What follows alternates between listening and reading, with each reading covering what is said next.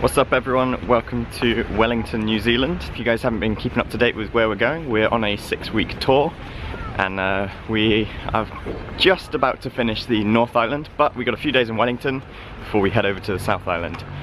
Today, we're heading to the Weta Caves. I think it's like the top 10 most recommended studio in the world. Yeah, so it's a filmmaker studio and uh, they've done a lot of work with Lord of the Rings, Avatar, uh, Avatar Uh, Thunderbirds. Um, Thunderbirds. yeah, the new Thunderbirds TV show. So we see all the model works, um, special effects stuff, and all sorts of other things. Hello. So we're not actually allowed to take photos or video on the tour itself, but we can film in a little gift shop. So I guess what we'll do is we'll write this up on our blog. So if you go to jellyjourneys.com, you'll see not only the full itinerary of where we're going, but also some thoughts on this. Hey guy, mate? Still precious? That was awesome! that was so nerdy, but really, really cool. Uh, such a shame we couldn't film anything in there. It, everything I just wanted to film, obviously it's all working film sets, so it would look amazing on camera.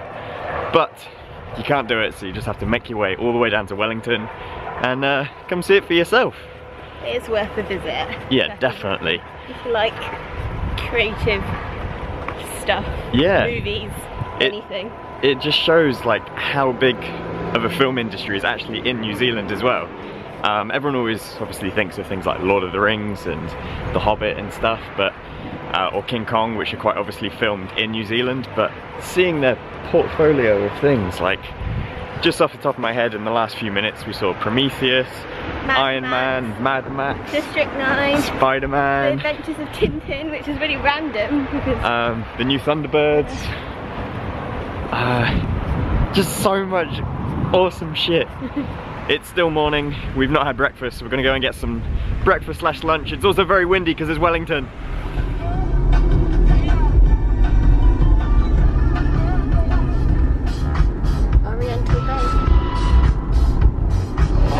So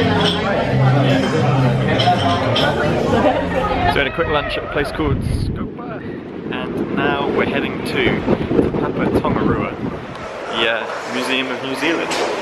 Everyone at Weta Studios was recommended coming here, so it's a good job we had it booked. Mm. Come on, two more, two more. Damn! Could have been a champion! I'm inside a flower. I'm an insect. So the museum is generally a collection of the history of New Zealand and uh, the combining of cultures from the Maori and the British um, when it was colonised back in the 1800s. I always struggle with the word Maori because when I was taught it at school, it was always pronounced as Maori and uh, hearing everyone here, they say it differently, and I'm trying to get the pronunciation, but I'm not 100% sure. So I think it's Maori.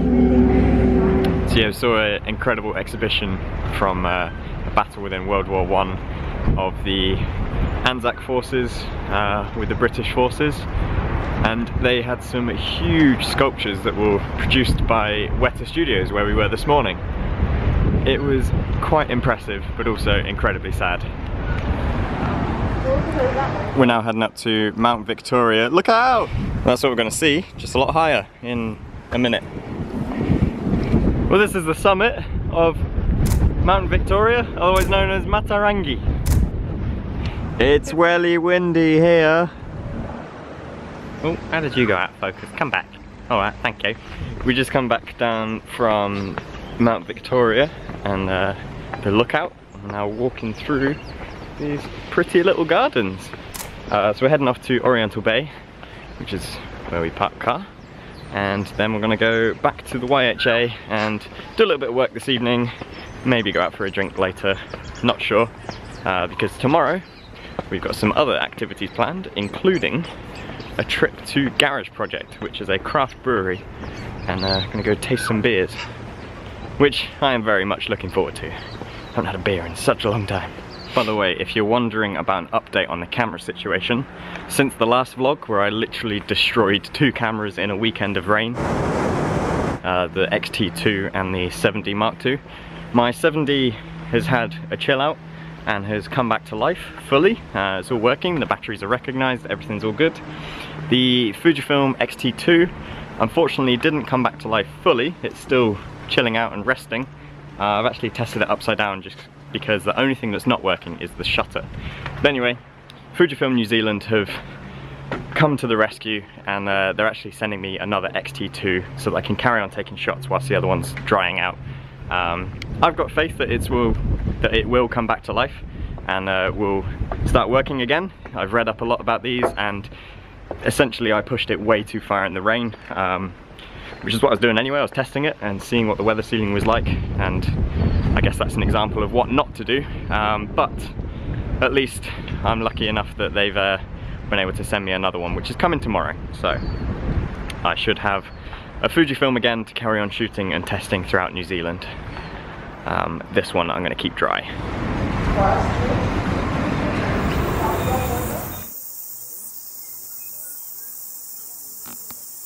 Good morning everyone. We've driven down to Zealandia, which is only a 15 minute ride from the city centre. And this is like a nature sanctuary project to try and restore this valley back to its natural wild self. Um, without any pests, any introduced mammals, anything like that. It's a 500 year project, so none of us will see it finished. It's full of nature and wildlife and native animals, native trees, and we're gonna go and check it out and hopefully get some shots. Uh, I'm filming on the 70 to 200 again today on the A7R2 because I think there's going to be a lot of birds about. Need to get up close.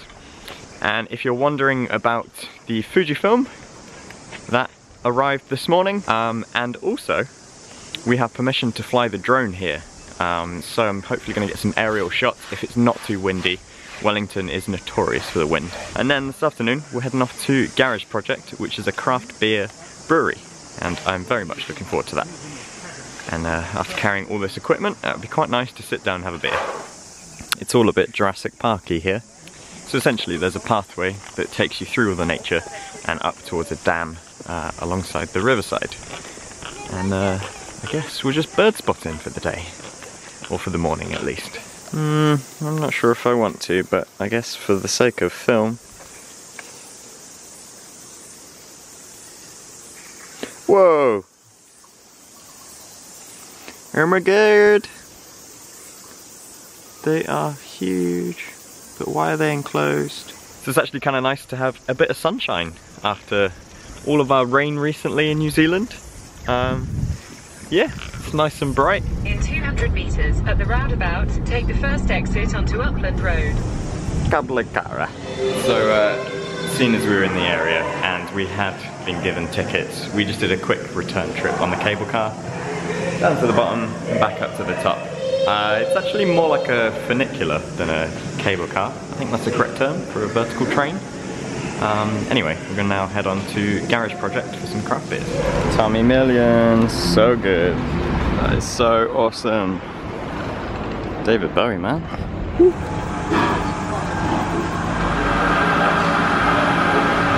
So we made it into Garage Project and uh, it's about a 30 minute walk from the CBD and already I think I'm loving this place. The artwork around, all the cam designs. So generally Garage Project is a collaboration between artists, good music, good food and good craft beer. Um, looking forward to tasting a lot of this. I think the best place to read up about this is going to be on our blog. We'll have some posts and more photos and everything. It's quite noisy and it is a working environment so I'm not sure how much we can film catching up that street art.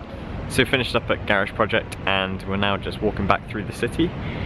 And uh, it's really good lighting, so we're checking out some of the street art. I'm going to take some photos and probably post them on Instagram, probably on the blog. This is our last night in Wellington. Uh, tomorrow we're going to be taking the ferry early morning. I'm uh, very tired from all the beers.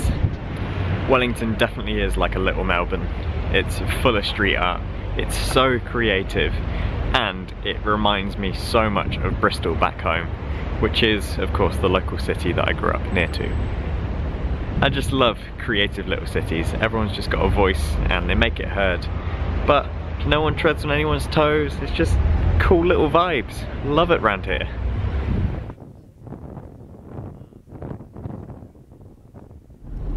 Nice morning son. Nice morning daughter.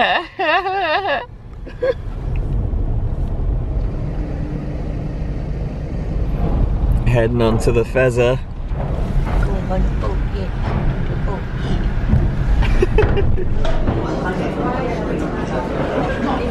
So now we're on the Inter-Islander ferry going from Wellington to Picton. Uh, so as the name suggests, it's a ferry that goes between the North and South Islands. And we're right now heading through the Marlborough Sound. Yep, good wine regions. Uh, yeah, so the very bottom of the North Island is a great wine region, and the very north of the South Island is great, great, great wine region. We're uh, just kind of coming in now, and so, so excited for the South Island again. This place is just phenomenal. Such incredible mountainous landscapes and lakes and everything. And this is just a teaser for it. Um, but what a teaser that is. Anyway, so I'm going to end this vlog here. Um, so obviously we've been staying at the YHA in Wellington, but if you want to see more details of our itinerary and what we've been up to, then you can check out the blog. We're going to have maps and links and This all is the photos. announcement. Ah. Can the film crew please make their way to the shop on the... Uh, that announcement was actually for us. We're going up to the bridge. So, hold off. Let's not end the vlog just yet. We can go up and see the captain. Okay, that announcement wasn't for us to go to the bridge. That was to tell us we can't go to the bridge. So, cut all of that out probably. So obviously we've been staying at the YHA in Wellington, but if you want to see more details of our itinerary and what we've been up to and what you can do in Wellington, then make sure you go and check out the blog. We're going to have a full write-up and some more photos, potentially even some maps and links to everything as well. So head to jellyjourneys.com. We're going to be posting blog posts from all the places we're visiting across New Zealand um, because we want to share this incredible country with you guys so you can see all of that. So this is the South Island. So excited for this. Last time we were here, it was awesome. It's gonna be even better this time. We've got four weeks here. So yeah, thanks for watching guys. Give it a thumbs up if you like this and subscribe for more videos and stay up to date with the future ones. So, see you later.